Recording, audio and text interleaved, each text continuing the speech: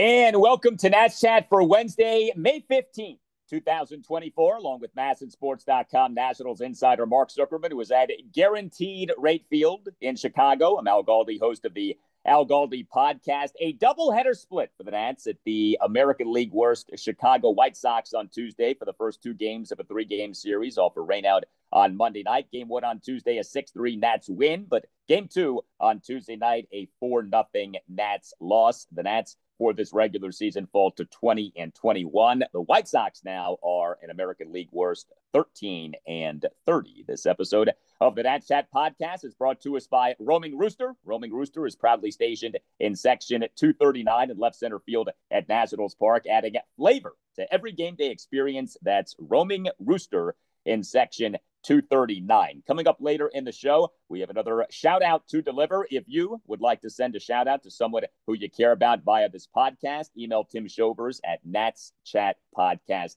at gmail.com. The Nats took Eric Fedde with the number 18 overall pick in the 2014 MLB draft out of the University of Nevada. He, with the Nats, pitched in six major league regular seasons 2017 through 2022, 102 games, including 88 starts, ERA of 541.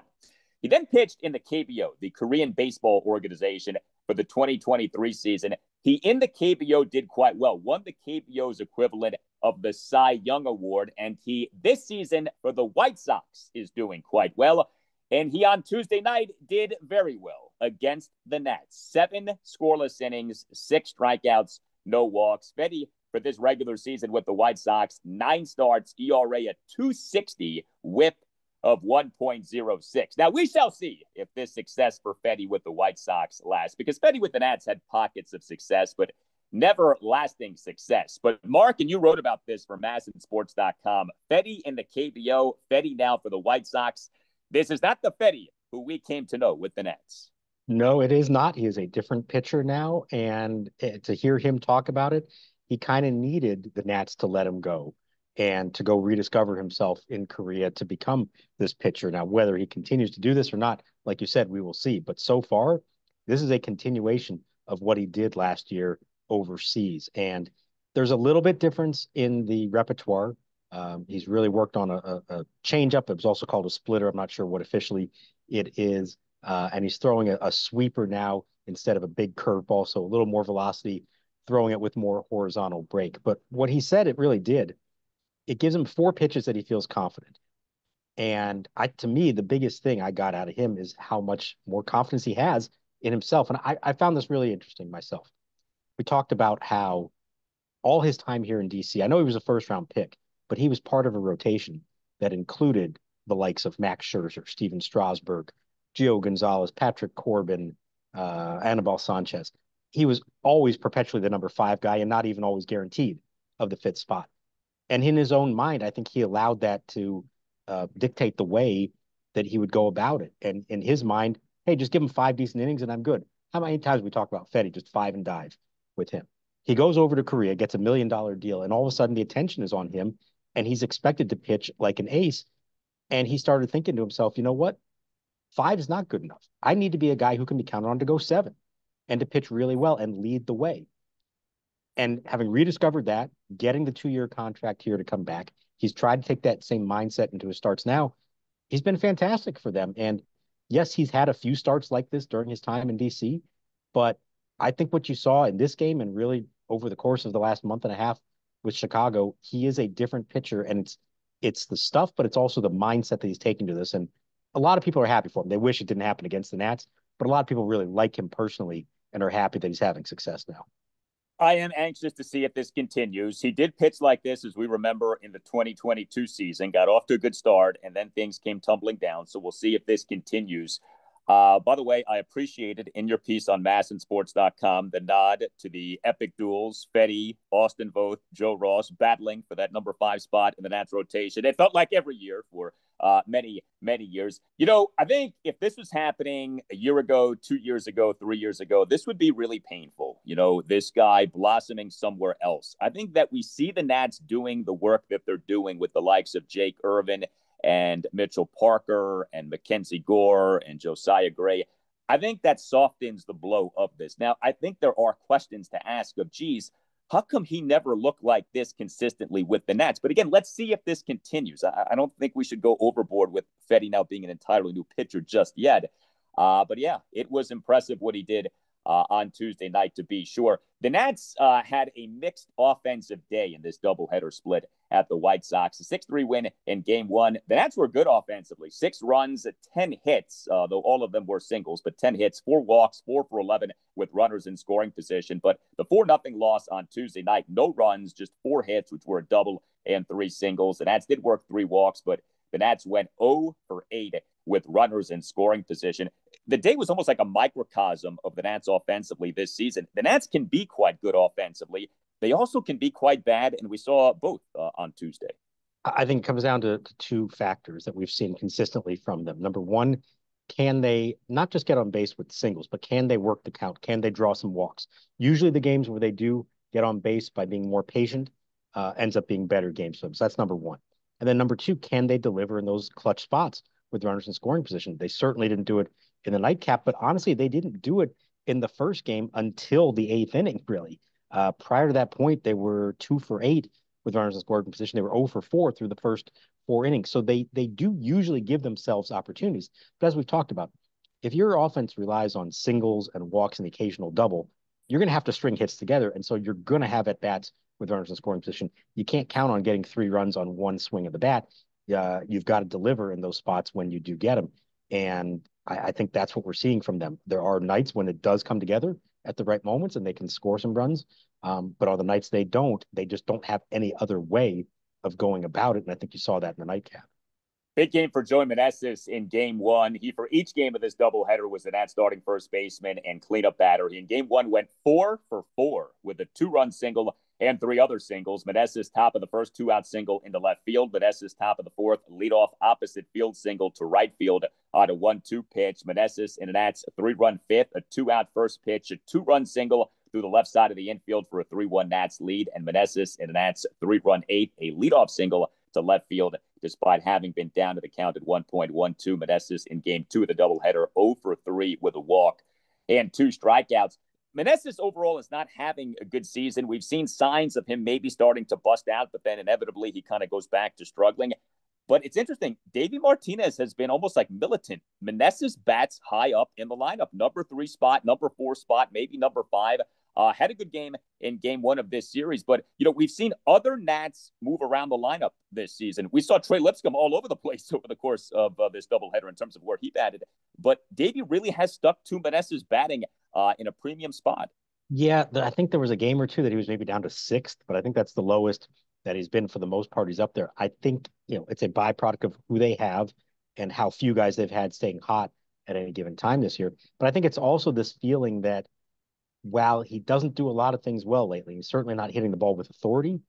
He still does have that chance with runners in scoring position to just hit a single up the middle to the right side, whatever that is. Um, it's not been a great season by any stretch. It does lead them now in RBIs uh, for whatever that is worth. So I think that's probably the thinking there. It'll be interesting. Um, we're a few days away, I believe, from Joey Gallo coming back off the IL. I think it'll happen this weekend in Philadelphia. How does that affect Meneses? I think Gallo is going to be at first base the majority of the time. Um, maybe Meneses gets the occasional start there. Maybe he goes back to DHing at times, or maybe there are days that he's actually on the bench, depending on how things go. Now, not that Joey Gallo has been anything close to a sure thing at the plate for them either. Um, but I think given the absences of others, I think Davey's felt compelled to keep Meneses in a relatively um, significant spot in the lineup. And maybe as they start to get healthier, uh, that may not be the case anymore. Well, Meneses got on base four times in game one. So did Trey Lipscomb. Uh, Lipscomb in game one as an at starting third baseman and number eight batter, three for three with an RBI single, two other singles, and a walk. And he went three for three on stolen bases. Uh, he did commit a fielding error, had some struggles in the field. We'll get to those. But Lipscomb, top of the second, two out full count single to center field. Lipscomb in the Nats three run fifth, leadoff single to left center on a one two pitch. Lipscomb in the top of the sixth threw a two out walk and had two stolen bases. And Lipscomb in the Nats three run eight, a one out opposite field RBI single to right center field uh, for a 5 3 Nats lead on an 0 2 pitch. And he had a steal of second base. And then Lipscomb in game two of the doubleheader as the Nats starting third baseman and number two batter. That was interesting. Uh, one for four with a single. Uh, he in the top of the sixth had a two out first pitch single into center field. Now, I mentioned the defensive issues. Uh, Lipscomb in what was a White Sox a two run fifth in game one of the doubleheader. Uh, multiple bad defensive moments. The Nats in this inning were a mess defensively. Three official errors. There also was a pass ball on Riley Adams, who committed one of the errors. But Lipscomb in this inning, he committed a one out fielding error in whiffing with his glove on a grounder off the bat of Bryan Ramos. And then Lipscomb failed to catch a one hop throw from left fielder failed to catch a one hop throw from left fielder Eddie Rosario for a throwing error by Rosario uh, off a one out opposite field single by Nicky Lopez. The throw from Rosario wasn't great. I mean, I thought that that was a catchable throw, though, uh, that Lipscomb just did not make. So there was quite a bit going on with Trey Lipscomb uh, in this doubleheader. Yeah, I agree with you. It's a catch you probably need to make, although I understand why you give the error to the guy who bounced the throw. Unfortunately, uh, it was a very shaky inning for him there. Now he wound up at first base later in the game when Meneses was pinch run for and started a really nice uh, play there to start a double play. So um, I don't know what entirely to make of it, other than to say he is still a rookie. He's going to have his moments. We've seen some good moments from him at the plate and in the field. We also see some shaky moments. And I mentioned Joey Gallo coming back. There's a question here about who goes down when Gallo comes back. Officially, when he went on the IL, it was Lipscomb who was called up from AAA. Now, would they make that move and just make Nick Senzel the everyday third baseman? Senzel's not exactly hitting right now, and he hasn't played the field a whole lot either. Um, he has mostly been the DH when he's played. So I think there's an interesting question to be had there. I think, you know, 41 games into the season, you start to get a sense of who Trey Lipscomb is. I don't think we have the full picture yet. Um, he's had his moments, certainly, but I also think what we saw in spring training and in that opening series in Cincinnati may have set the bar a little too high, and he may not quite be all that everyone hoped he would be early on. That doesn't mean you shouldn't want to see more of him because he is potentially a part of the future. Uh, but I would not say that he's done enough at this point to just guarantee that he should be out there every day for the remainder of the season. It was a rough doubleheader for CJ Abrams. Uh, he, for each game, was the Nat starting shortstop and number one batter. He, in game one, went 0 for 4 with a walk and two strikeouts. He, in game two, went 0 for 4. Abrams, now, for this month of May, has the following slash line batting average of 192 and on base percentage of 222, a slugging percentage of 235. He was so good in April. He is having a really rough May.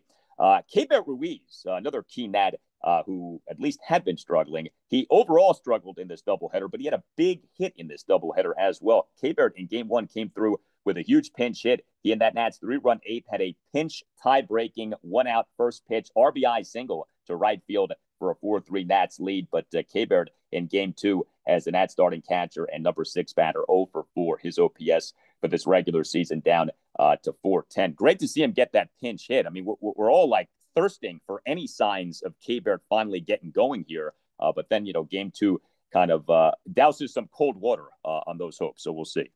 Yeah, look, I thought it was a smart move by Davey to pinch hit him for Riley Adams, who had himself had a bad day, two strikeouts and a double play, and has really struggled here lately when he has had the chance to play. So I liked that situation, and it was good to see Ruiz uh, deliver with the uh, go-ahead single on the first pitch.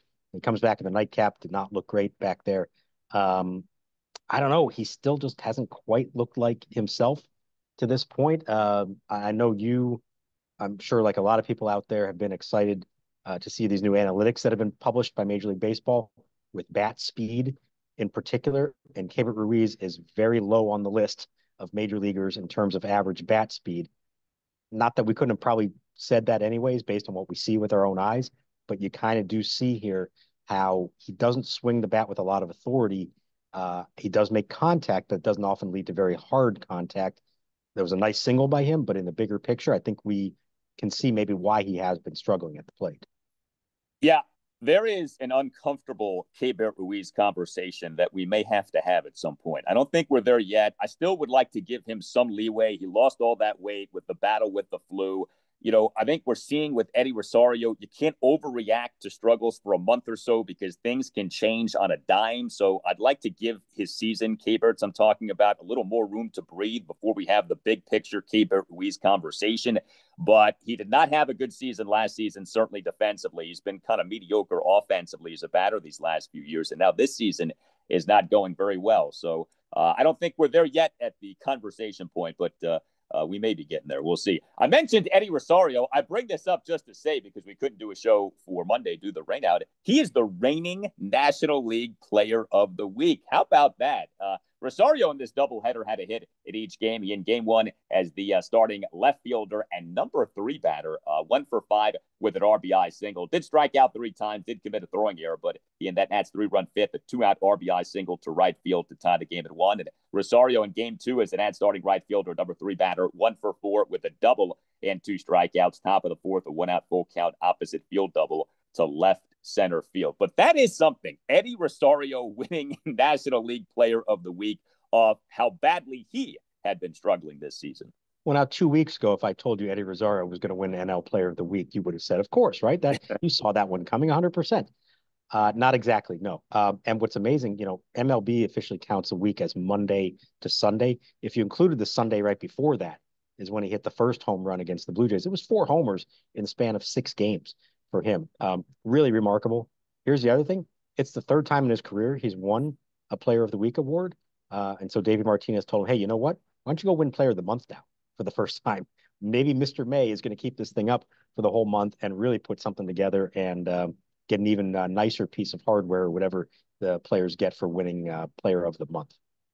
Well, we had mixed starting pitching for the Nats in this doubleheader split at the White Sox on Tuesday. Uh, the 6 3 win in game one. Trevor Williams was the Nats starting pitcher. He allowed three runs, one earned in five innings. He gave up four hits, which were a home run and three singles. As yes, he did finally give up a home run.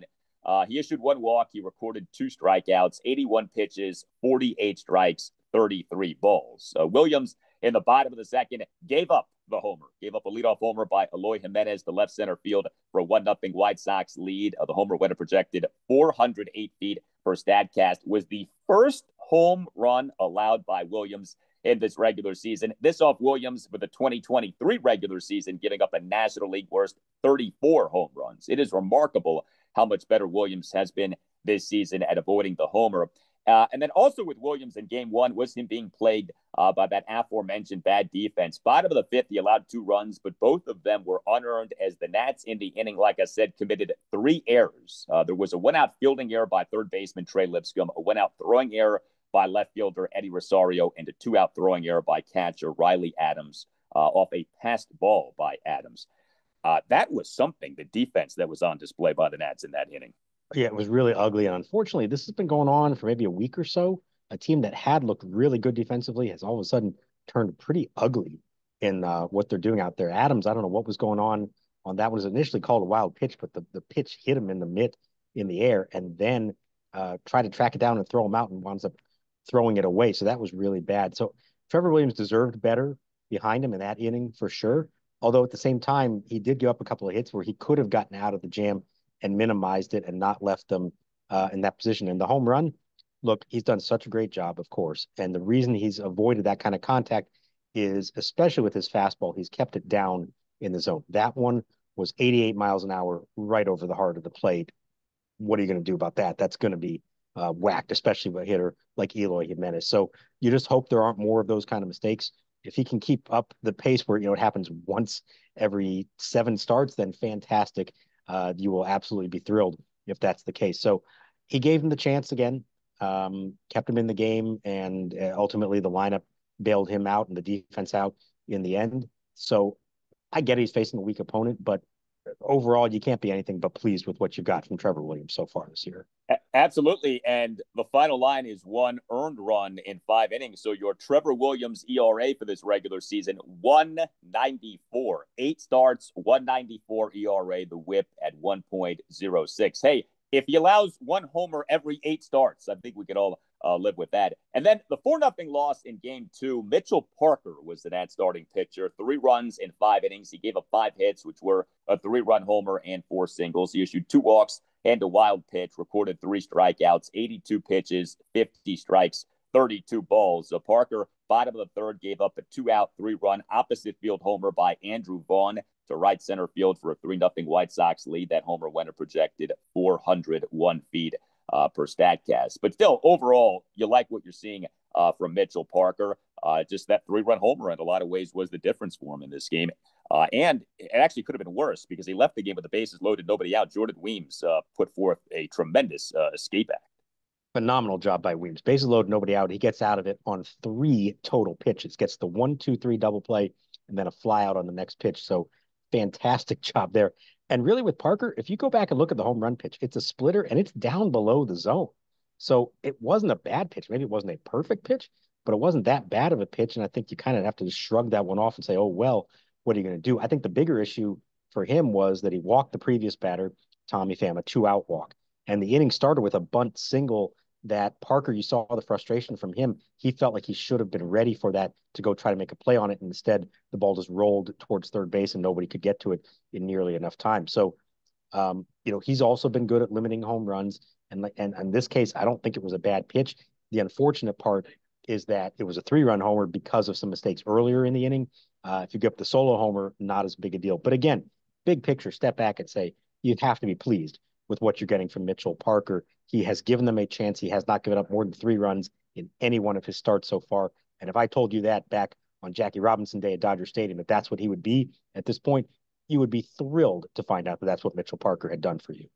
Yeah, and I think that that's part of why Eric Fedde doing as he did on Tuesday night doesn't sting like it otherwise would. Two years ago, when Austin Voth was doing really well with the Orioles. That stung because you have the Nats as a really bad team, having really struggled when it came to drafting and player development. And here you had a guy who had been bad for the Nats for years. He goes to this other team and from the get go is really good. And even though Voth faded with the O's, the O's in like half a season got more production out of Voth than the Nats got over five seasons with the guy. And so that was a really painful issue. Here we are two years later. No, the Nats haven't arrived. You can't like plant the flag of victory, but things are going in a better way. And that was an interesting sort of juxtaposition of, yeah, Fedde doing as he's doing, but the Nats were throwing Mitchell Parker, and there's a lot of reason for optimism with him. So I do think that that takes away some of the sting of seeing Fedde uh, do well. Uh, the Nats bullpen in this doubleheader split at the White Sox on Tuesday. I tell you, more good work by this Nats bullpen over the two games. Uh, one run in seven innings, a 6 3 win in game one. Four Nats relievers combined for four scoreless innings. Robert Garcia, a scoreless and hitless bottom of the sixth. Derek Law, scoreless bottom of the seventh. Hunter Harvey, a scoreless bottom of the eighth. Kyle Finnegan, scoreless, bottom of the ninth for the save, despite giving up back to back one out singles. And as Mark noted on X, first time since April 12th that Kyle Finnegan had given up a hit. He had tossed 11 consecutive hitless innings. And then the 4 0 loss in game two, three Nats relievers combined to allow one run in three innings. We mentioned the escape act by Jordan Weems, faced two batters, got three outs, and on just three pitches, navigated his way out of a bases loaded, nobody out jam in the bottom of the sixth inning. Uh, Jacob Barnes tossed a scoreless and hitless bottom of the seventh. And then uh, Nats starting pitching prospect Jackson Rutledge came into the game. He earlier in the day was appointed as the Nats' uh, 27th man for the doubleheader. Uh, he did give up a homer. Bottom of the eighth, Rutledge gave up a one out solo homer by Andrew Vaughn uh, for a 4 nothing White Sox lead. But hard to ask for better uh, than what the Nats got from their bullpen in this uh, doubleheader on Tuesday. Sure. And I think the best part of it is uh, you, what you worry about with double headers is you burn guys up and it leaves you in a bad spot the next day and the day after that. Well, in this case, they used uh, what seven of their nine relievers, and everybody basically pitched an inning, uh, and they're all in good shape, I think, for the next day, and then an off day after that. So I mean, they should be totally fine. Um, Rutledge, I thought was an interesting call, both to have him come up he had started just three days ago at Rochester threw 91 pitches. So it's not like he would have been able to give them a whole lot of length if the uh, situation arose. I figured he's just here in case of emergency. They're not going to use him at all. They did put him in there for the ninth. And instead of Dylan Floro, who I could understand, you say he's a higher leverage guy. Maybe you want to save him uh, for the series finale. But guess who didn't pitch at all in the doubleheader? Tanner Rainey. And if you're not even willing to use him down three nothing in the eighth inning, and instead you're using Jackson Rutledge, for ostensibly a mop up inning uh, in in between his two starts, at AAA, it tells you a lot about where Tanner Rainey is right now. And as we've discussed, how long can you go on like this, carrying someone who you don't really want to use in any kind of situation of consequence? Um, we'll see how it plays out on Wednesday. And again, they have Thursday also may not be a big deal, but that struck me a little bit, sort of like you didn't have to throw Jackson Rutledge at it, and you easily could have put Rainey out there, and they chose not to. Tuesday was May 14th. Rainey's last appearance in a game was May 4th. Like, what are we doing here? You know, this isn't doing Rainey any good. This isn't doing the team any good with how aggressively Davey Martinez uses his bullpen for the team to be operating essentially a man short in the bullpen. You DFA'd Matt Barnes instead of doing something with Tanner Rainey. I, don't get what's going on here. Like, you, you can't have it both ways. You can't want to keep the guy but then never pitch the guy. Like at some point, you got to make a decision here. You're either going to keep throwing the guy out there and hope like heck that he gets right, or you're going to make a move here and get somebody else in that bullpen. But what's happening right now, uh, this can't go on. No, it can't. Now, uh, for all we know, they are working on stuff with him, so they're using this opportunity to actually, you know, throw off a bullpen mound in the afternoons and try to get something right. But eventually, you have to see does it work in a game or not. And to me, down three nothing in the last inning of a doubleheader that you already won the first game why not? Where's the harm in putting him out there? Now, maybe another situation will arise to do it. Um, but I, I kind of would have liked to have seen him there. Just if he could have given them a scoreless bottom of the eighth, it would have been a boost of confidence for him, and then that maybe made you think, okay, we're we're on track here. We got something that we've got going right. If you never put him out there, you never know if you can fix him or not. Game three for the Nats at the White Sox Wednesday afternoon at 2:10. Patrick Corbin will be the Nats starting pitcher. Can we talk about the crowd? At uh, Guaranteed Rate Field on Tuesday. Um, the crowd for game one of this doubleheader was as bad of a crowd as I can remember seeing in a regular season game. Now, look, the Nats are in the same division as the Miami Marlins. We know how that ballpark can be, but this was embarrassing. All of the empty seats that were there for this game one, game two was a little bit better, still not great. But game one, I mean, you put out a photo of what it was, but watching the game, it was almost humiliating from a White Sox perspective. This is a major league regular season game. And by the way, a major media market, Chicago, Illinois. And it felt like there were six people in the stands. It was incredible to see and hear. The number I think for most of that game had to be under a thousand. I think it was three digits. Um, you know, it was almost small enough that you could try to just count individual people that you saw out there. Um, now, look, it's a, a single admission doubleheader. The way that works is if you had a ticket to Tuesday's originally scheduled night game, you could also come early and get both games. And either people purposely decided not to, or couldn't, or maybe in some cases didn't even realize what it was because they bought their tickets way in advance and didn't know. And the official attendance for the doubleheader, and again, this counts for two games. 11,138. There were not that many people there for the nightcap either. There were some more that looked a little bit more respectable, but not a lot better. Now, uh, the situation here, it's a terrible team. There is a lot of frustration around here. They went through a complete teardown of a team uh, that was that made the postseason a few times not that long ago. And the thought was, okay, they have a young core that's going to grow into something big here. It did not happen and they've kind of started all over again. It has not gone well. It has not been well received in Chicago. Uh, Jerry Reinsdorf, the longtime owner, is not in good graces of a lot of fans. He's apparently trying to get a new ballpark built uh, to replace this, which, you know, of all the other things about the White Sox, the fact that this place, originally Comiskey Park, it was called, um, was built one year before Camden Yards and could not be any more night and day different from what Camden Yards is. There's nothing retro about this ballpark. It is huge. The upper deck is a mile high. Uh, it is cavernous. It has no charm at all, and it's in a bad part of town. Um, you put that all together, and you can understand why, even in a big market like this, there's a lot of frustration. Uh, where it goes from here, I don't know. It was disappointing to see it. I'm not necessarily all that surprised, and I'm not even going to necessarily blame fans for not turning out on a cold uh, midweek afternoon for a doubleheader against a team that they probably don't know a whole lot about. Uh, but this is an organization that has a lot of work to do to win people back and try to get back to where they were when they won the World Series, uh, you know, only two decades ago.